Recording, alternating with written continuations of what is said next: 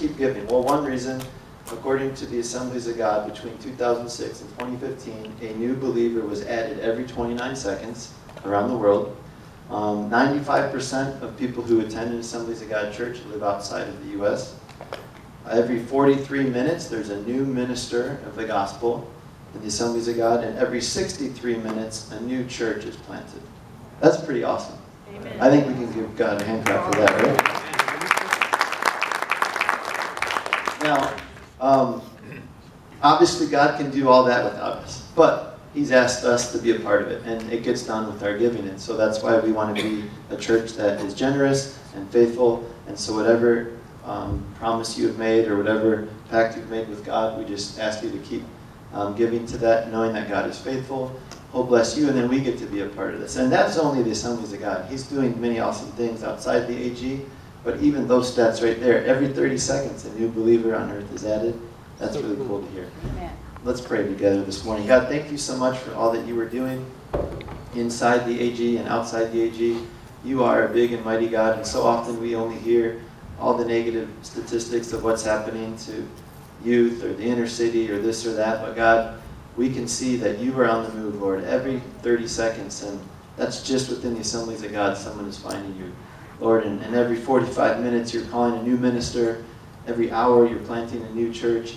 Um, and we just thank you, God, and we ask that you would receive what we give this morning for your kingdom, that you would multiply it to meet needs here and around the world. In Jesus' name, amen. He has been serving Christ so passionately uh, the last 25 months.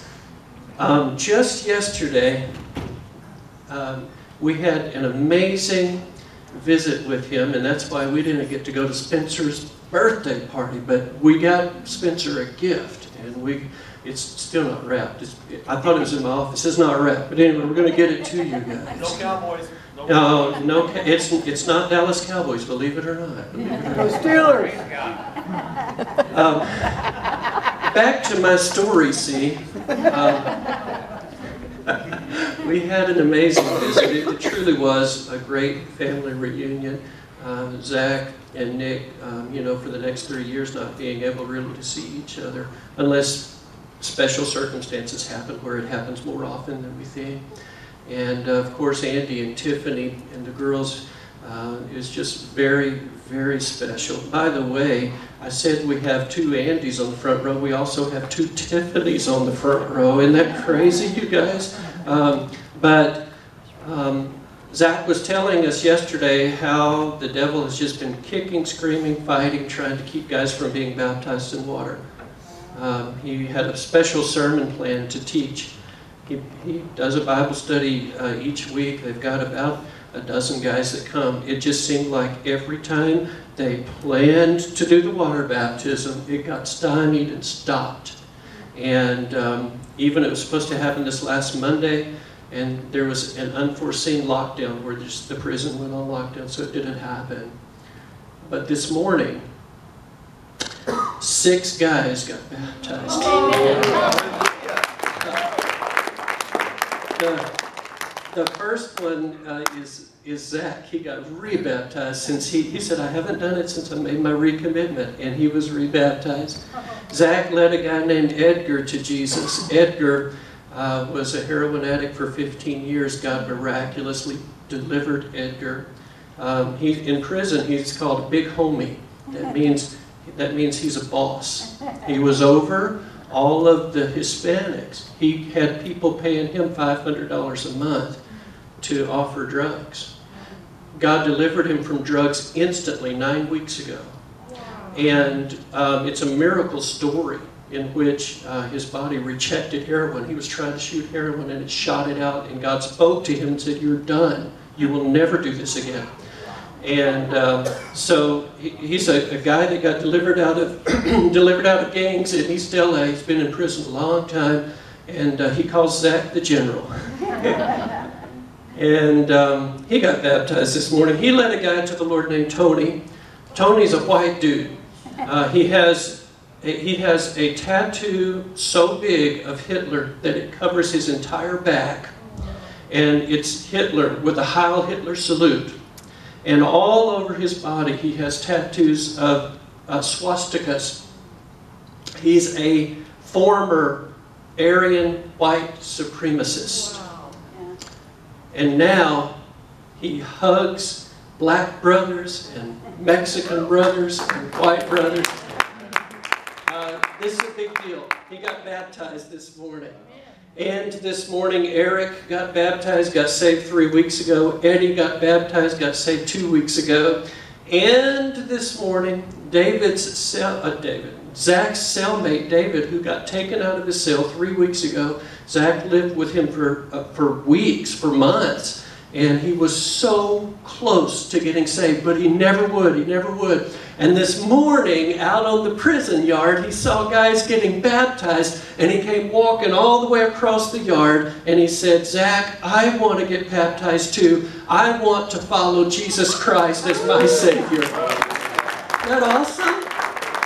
So, um, be praying for us because we, we're trying. We have made application to do ministry out there, but now I'm beginning to wonder what kind of ministry could we possibly do that isn't already being done. But God's doing amazing, amazing things. Hey, we're going to dismiss Little People's Church right now. This 3, 4, and 5 misfits and miscalculations. Um, by the way, thank you, Pastor John, for speaking last week. Man, he's he is. You guys, we're blessed. He's an incredible teaching pastor truly is. I mean, I, I honestly, I, I, learned so much from his message, and I thought to myself, if I were a pastor, I would want to go hear John speak. I mean, I'm serious about that. In fact, maybe we need to have him do more here and me less. I mean, he was a, a great, great blessing to our church. And so many people who worked hard to make it happen last week while we were out of town. Just a great blessing.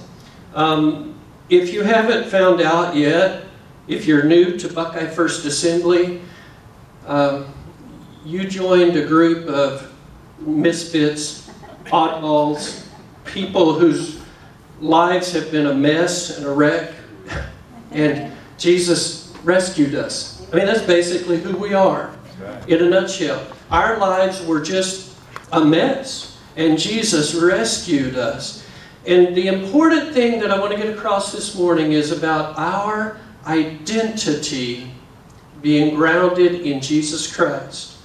If you have embraced faith in the Lord Jesus Christ, if you're very serious about your walk with Him, your identity is in Him. You identify in Him in everything you do in every part of your life. The message this morning is titled, What's the Use? What's the use? Raise your hand if you ever said, What's the use? I mean, come on, be real with me. We believe in getting real. You don't have to, you know, put on airs and pretend. What's the use? Um, this morning we're looking at a guy who was a misfit. He was an oddball. Um, in current terminology, we would say he was a big fail. He did not measure up, mistake after mistake, and yet, like we've heard in each part of this series over and over, God delights to take individuals who are misfits and make them into success stories. Amen. He delights to do that. And this guy that we're talking about this morning is no different. Now, I don't want to scare you. I know we've got Harvest America this afternoon and all that. But in order to effectively preach this message, I need to read approximately 75% of one entire book of the Bible. And uh, are you okay with that? Okay, all right. I am kind of joking with you. Um, it is an entire book of the Bible, the book of Philemon, but it's only one chapter and it's 25 verses long. Uh, Philemon, let me just set up the story for you. Philemon is a, a guy who's a leader in a church, probably a house church. He may have been given some sense of direction and guidance. He was possibly even um, a local leader. Uh, the, the, terms in the Bible, like elder, deacon, um, were still very much being developed, even in that first century. And, and depending on different settings in the Bible, they have different nomenclature and he may have been called an elder. He, he might have had what we would call um, board leadership responsibilities in today's terminology. He was a leader in this house church. Philemon had this guy who used to be his slave. The slave's name was Onesimus. First off, it should bother you what I just said, right? What do you mean he had a, a slave? Uh, well, you need to know that slavery in the first century was not like slavery here in the United States, that dark blot on our history in the antebellum South, the horrors that happened called slavery. It was not that way. Uh, it was more like being an indentured servant. Um, in fact, archaeology has uncovered writings that talk about slaves who were dentists, for instance, slaves who were, uh, one instance, a, a slave who was an accountant. And so it's not really accurate. You could almost, when you look at slavery in the Bible, you could almost say, instead of the word slave, let's use the word employee. But it doesn't quite translate that way. And, and so slavery was different then than it is now. But uh, Philemon, a church leader, had a slave named Onesimus, and Onesimus abandoned ship. He, he jumped ship. He, that is to say, he left. He, he stole from Philemon. He, we, we, a lot of speculation, we're not sure all the details. He owed money to Philemon, and he ran from him, and he ran from God. But he happened to land in the same prison with this guy named Saul, who had just recently changed his name to Paul. God actually changed his name for him.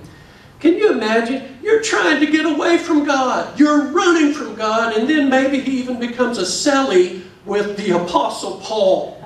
I mean, it, God's sense of humor sometimes is amazing. And so, so what happened was, you, you're probably ahead of the story, but Paul leads Onesimus to Jesus. He gets saved. And Paul disciples Onesimus. And now it comes time, Paul says, you know what, Onesimus, you've got to go back to Philemon. You can't let this rest. You've got to go back and you've got to make good. You've got to square this stuff away. You can't leave all of this baggage just dangling. You need to go back. I can just imagine their conversations. Oh, but Paul, if I do that, he's going to be so ticked at me. He's going to be angry. Uh, why, I owe him. And, and he's, he's going to be harsh to me. And Paul says, here's what I'll do. I'll write a letter. And I'll send it with you. You, you could almost think of it as a signed affidavit from a respected lawyer. And Paul writes to Philemon, and we get to eavesdrop. We get to read this private affidavit. It's a letter from Paul to Philemon about Onesimus. Read with me, uh, beginning at verse number 4. Therefore, although in Christ I could be bold and order you to do what you ought to do, Yet I prefer to appeal to you on the basis of love. It is as none other than, it is as none other than Paul, here's a little parenthesis, an old man and now also a prisoner of Christ Jesus. It is none other than Paul that I appeal to you for my son, Onesimus, who became my son while I was in chains. Formerly he was useless to you, but now he has become useful both to you and to me. Paul writing to Philemon about Onesimus. This guy used to be a waste, but now he's useful. Here's our first point this morning. You used to be useless.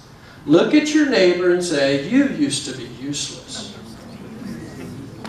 I mean, is that true or not? It, if you're talking about 99% of us in the, in the room, here's the deal. The Bible uses language like this. Both Ephesians and Colossians, it says, You were dead in your transgressions and sin.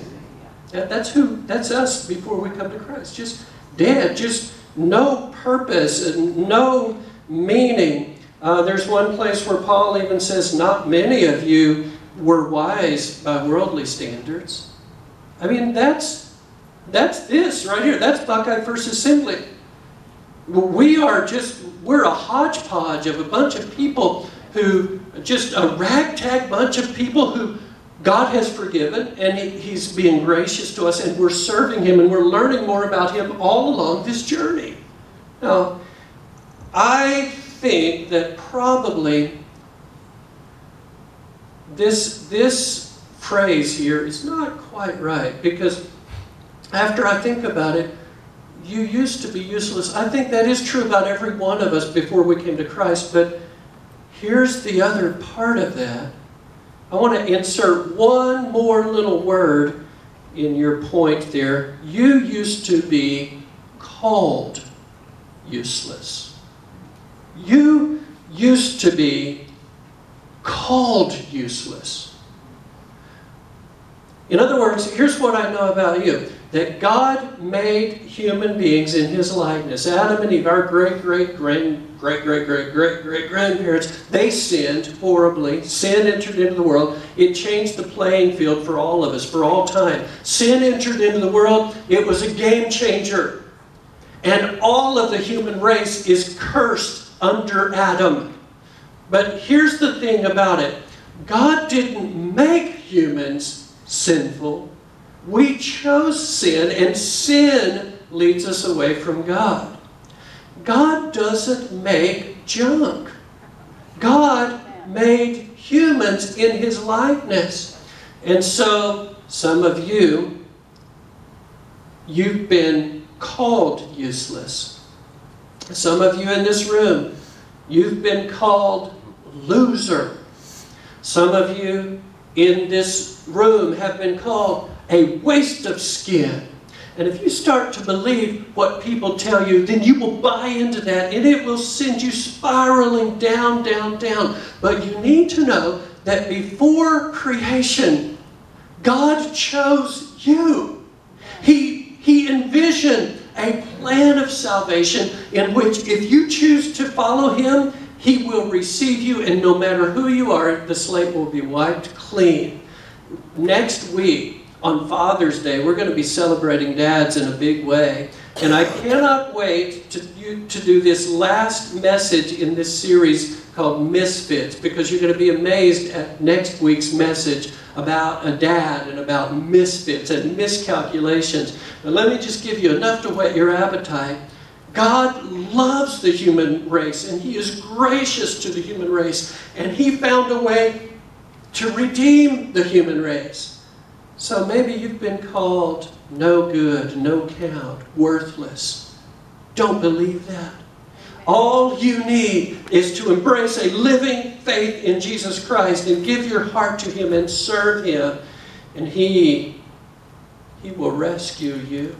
He will make something beautiful out of your life. The entire point of our life is to get us out of Adam and into Christ. Now, I'm using phrasing from the Bible to, to get delivered out of an identity with sin and rebellion and to come into an identity in which we relate with Jesus Christ, our Savior, who has redeemed us, who has purchased our, our salvation by dying on the cross for our sins. And when you are in Christ, then, brother, you're no longer useless. Here's, here's the amazing thing the name Onesimus, it means useful. In fact, Paul is using a play on words. Paul writes back to his old boss, his own his old master, and he says, he used to be useless, but I find him useful. Yes, Onesimus is useful. And if you could see it in the original language, it's such a play on words as he's redeeming. You're not useless, you're useful, Onesimus. Everyone in this room, you are an Onesimus. You are useful. So the, the main thing is that we've got to identify with Him. And I, I want you to hear this. Your identity is in Christ. It is not in what you do. It is in who you are. A lot of us will say, you know, someone says, Tell me about yourself. Well, I'm the pastor of a church. Well, that's what I do, but that's not who I am. Who I am is a, a follower of Jesus Christ. And you might say, well, I work at the power plant, or I'm an electrician, or I drive a truck, or I'm in the armed services, or I'm a plumber. No, no, no. That's not who you are. That's, that's just what you do. But who you are is you are a follower of Jesus Christ. Yeah. And all the rest of it is just how it works out and how you live it out. The story goes that John F. Kennedy went to visit NASA uh, in the early part of the 1960s before his assassination, and he boldly said, We will be the first space program to reach the moon. We will land a man on the moon. One day he went to NASA to visit them, see how things were going, just get an update. As he's walking along, there was a janitor sweeping the floor. And the president walks up to him and maybe not having rehearsed his words, just making conversation. He, stuck out his hand, shook his hand, and says, now, now, what do you do here? And he said, Mr. President, I am helping to get a man on the moon. See, here's a person who understood. It's not about what I'm doing, it's about the big picture. And, um, you know, the astronauts, I, I shook hands with Buzz Aldrin, the second guy to step on the moon, have a book signed by. That was a special moment for me. But don't you know, that's not going to happen unless you have somebody who's willing to pick up a broom and keep the place clean. And so, the church, we must understand we've all got different ways, different methods, different roles. And my dad, I think, um, Andy, our dad was just a special man.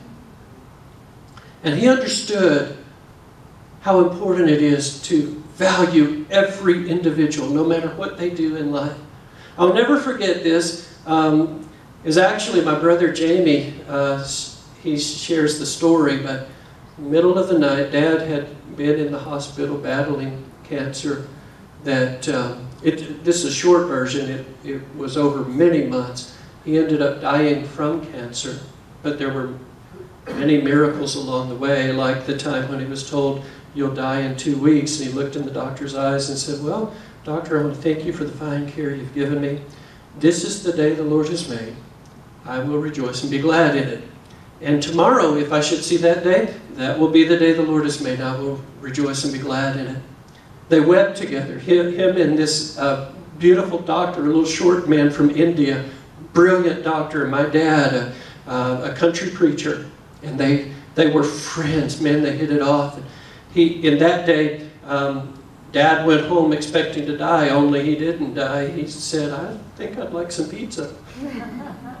and he and the doctor said, "If he wants pizza, let him have pizza." And the short story is that he God healed him. It was a miracle of healing. He he got up, he got his strength, he went around preaching all over East Texas, sharing the miracle of healing and uh, enjoyed Thanksgiving with the family, enjoyed Christmas with the family, um, had special occasions with family, and, um, and then my mom and him celebrated their anniversary on January 26th, and on January 27th, he, he said, I need to go back to the doctor, something's not right. And on March 18th, he went home to be with the Lord. But backpedal to this, this scene, my brother is at 3 a.m. sitting with my dad in the hospital room. Dad is wiped out from having uh, chemo and, and he's, he's received radiation. And at 3 in the morning, my brother wakes up to this scene. There's a janitor coming in the room and he's kind of quietly going around picking up trash in the dim light and he's unloading the trash can. And Jamie thought my dad was asleep but he heard Dad say, Freddie, is that you? Yes, sir, Pastor, it's me. Oh, Freddie, I love you. I love you too, Pastor. Freddie was just one guy that Dad touched in the hospital. There's another guy named Alan that would come all the way from the other side of this huge hospital to visit him every time he worked because God just restored him. And the last time he came in, he had a he had a, airline ticket in his pocket. He said, "Pastor, you know what this is? What's that, Alan?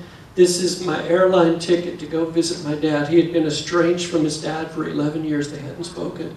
But dad ministered to him. He said, You really need to go see your dad and make things right. And here was the airline ticket in his pocket. Everybody, everybody matters. Martin Luther King Jr. said, If a man is called to be a street sweeper, he should sweep streets even as Michelangelo painted, or as Beethoven composed music, or as Shakespeare wrote poetry. He should sweep streets so well that all the hosts of heaven and earth will pause to say, Here lived a great street sweeper who did his job well.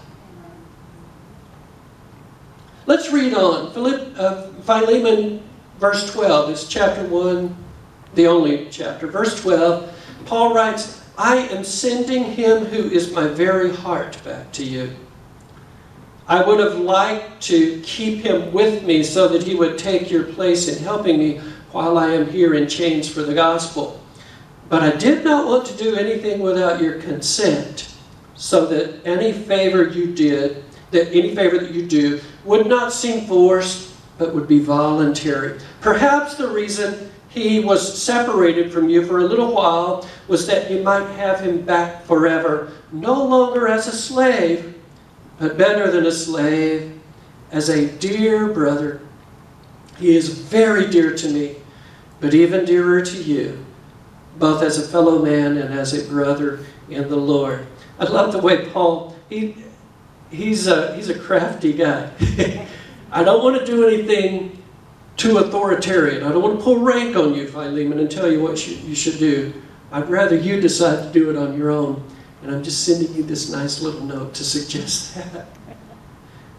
And just think about how what's going on here. Paul has already said, I'm sending him who is my own heart. Paul has said about Philemon, uh, about rather about Onesimus, who is this runaway slave who is now a prisoner. Paul says about Onesimus, I became his father while he was in prison.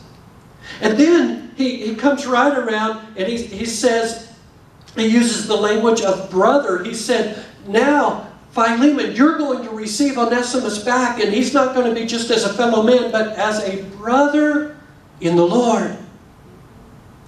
Uh, Paul says, he's my very own heart. My own heart. Here's the second point this morning. Failures make good family members. Failures make good family members. If, if you want to impact Buckeye, then, and I, I think you do, I mean, I think we do, right? Am I, am I right when I assume that we want all of Buckeye saved and serving Jesus? Uh, would it be too presumptive to assume that we would love to fill this place up multiple times on a Sunday with people getting saved, finding that Jesus is the answer they've been looking for? Yes. So if we want to do that, church, then this is a very important series of messages. We are misfits and we are welcoming misfits. We kind of have to do like General Norman Schwarzkopf did. He learned as a little boy, 10 years old, the gag reflex. You got to control the gag reflex. You see, his dad was an ambassador to Saudi Arabia. Mm. And little Norman went on a trip with him to Saudi Arabia.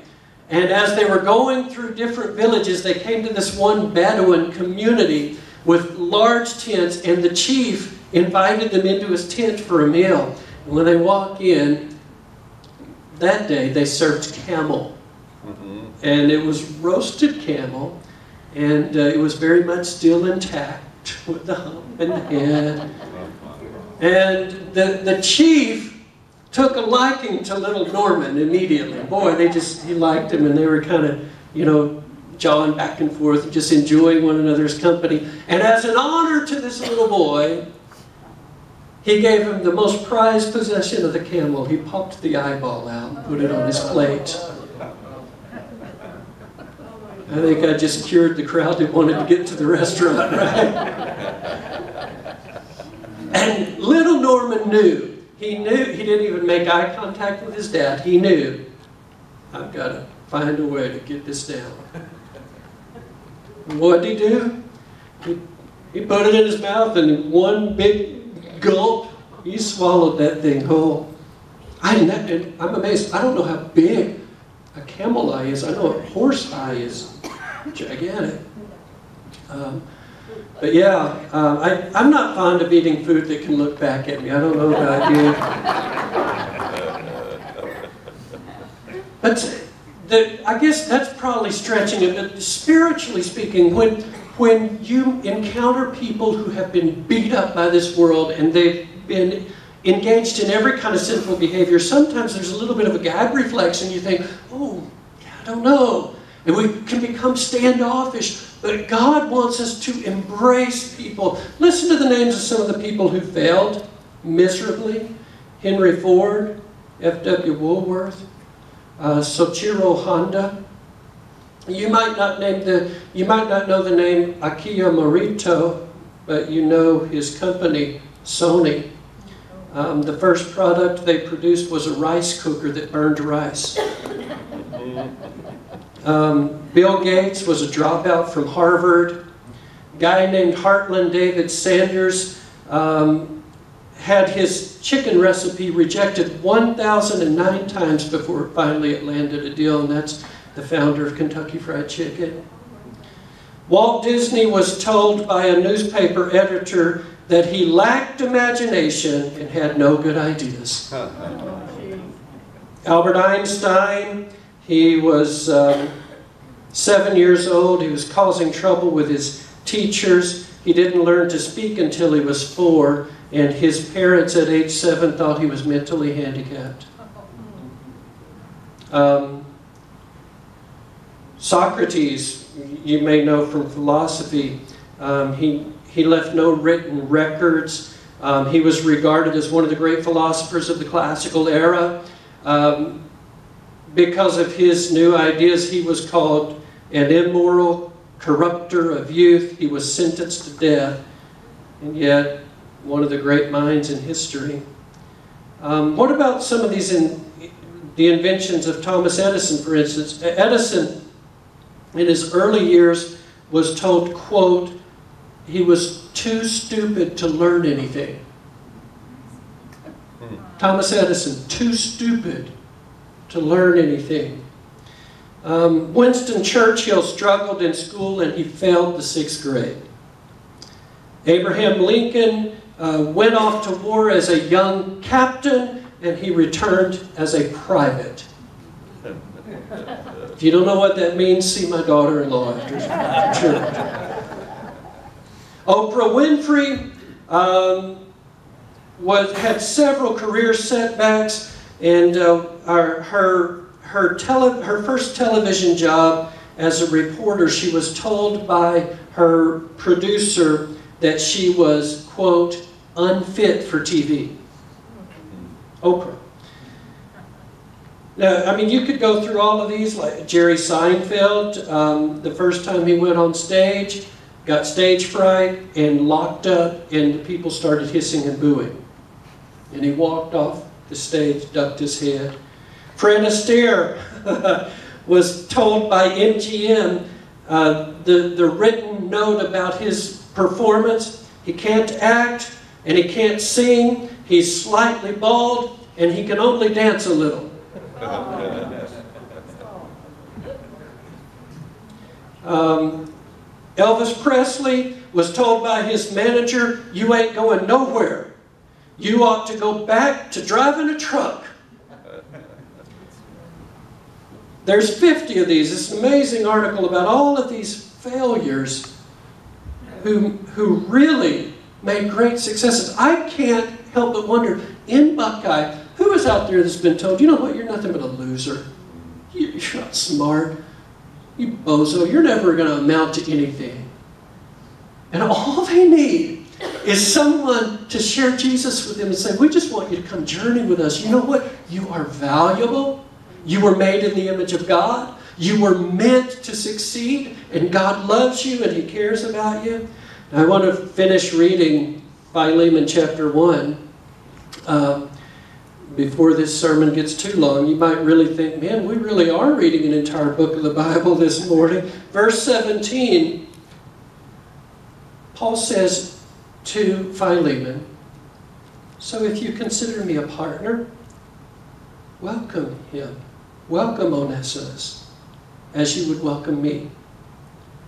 If he has done you any wrong or owes you anything, charge it to me. I, Paul, am writing this with my own hand. I will pay it back. Not to mention that you owe me your very self. There goes Paul again, being Paul. You know, not to mention you owe me your life. I mean, that, that's all. I do wish, verse 20, I do wish, brother, that I may have some benefit from you in the Lord. Refresh my heart in Christ, confident of your obedience.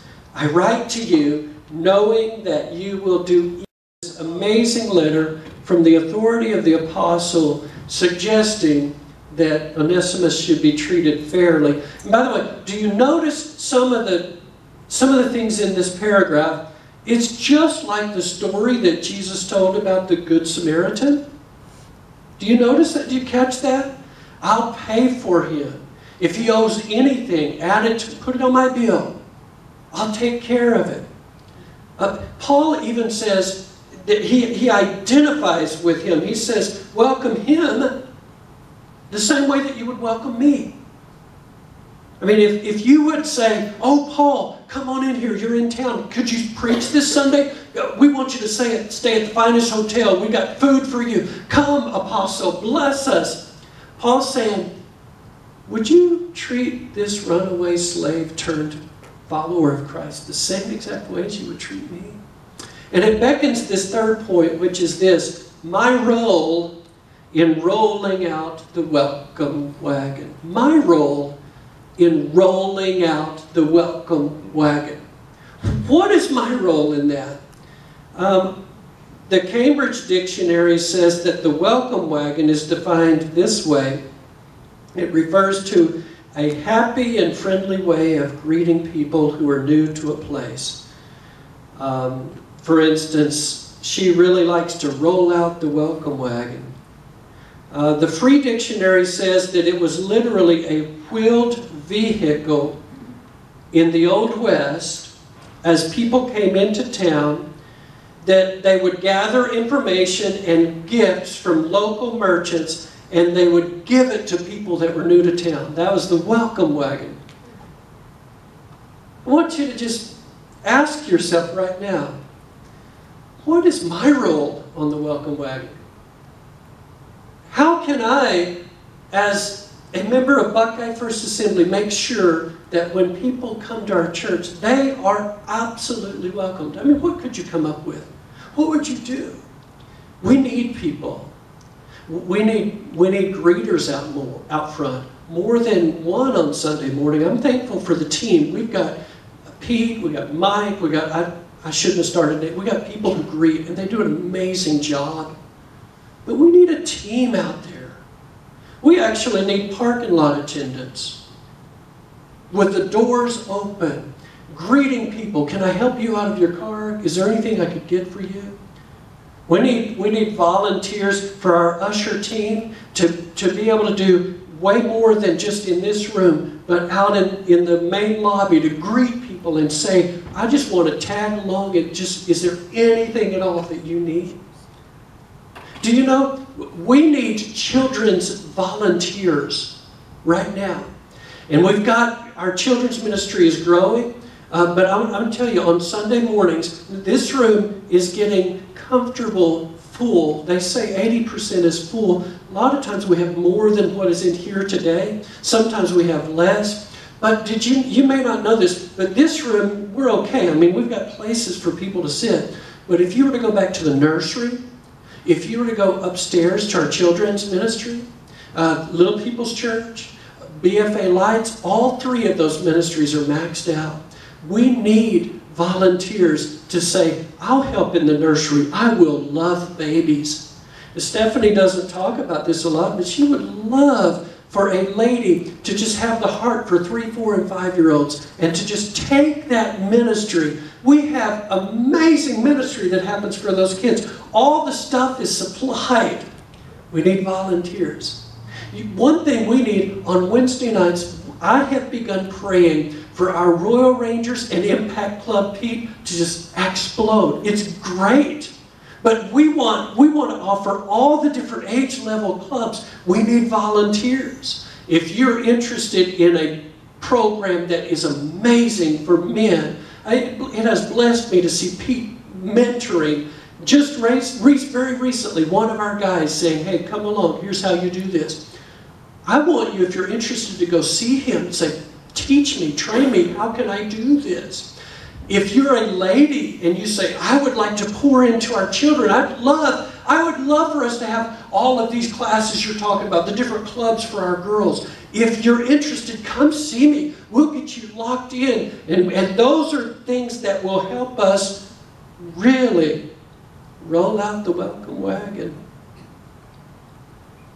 I believe probably that even while I'm talking, the Holy Spirit is is saying things to individuals, different things that you would say, you know, I've always hoped that our church would have thus and such. Maybe God's calling you to that ministry. Roll out that welcome wagon. Now here's the here's the takeaway this morning, and I always when I when I do this, what I mean is what's the main thing that I would like us to take away from this sermon today? And this is it. Don't ever get used to being useful. Remember that useful is the name of the guy that we talked about this morning. Onesimus. Don't ever get used to being useful. I remember um, a slogan that I heard from the Houston Rockets. I was a big time Rockets fan in the early 90s. They, they repeated back to back NBA champs. And uh, by the way, I just for what it's worth, I'm pretty excited about Golden State. I love that team, and I, I just think there's no way the Cavs are going to beat them three times in a row. It's just, I, if you bear, if you, you know, if you'd like to differ with me on that, we can talk out in the lobby afterwards. I really, I really love watching that team. I remember the slogan though of Houston Rockets in the early '90s, and I thought, you know, that's an amazing statement. This is something that we as a church family need to embrace. Their slogan was stay humble and stay hungry. Stay humble and stay hungry. I, I hope that we never quite get used to that feeling of being useful. I hope that in some sense we can always feel a little bit like Onesimus must have felt carrying this authorized letter from the Apostle Paul back to his former boss, explaining, I know I made mistakes, I know I did things wrong, but I'm a different person now. And this letter is a signed affidavit that says I'm a new individual. Give me another chance. Let me make it good. What would that feel like to go from being useless to useful? Stay humble. Stay hungry. I want you to bow your heads with me and let's pray.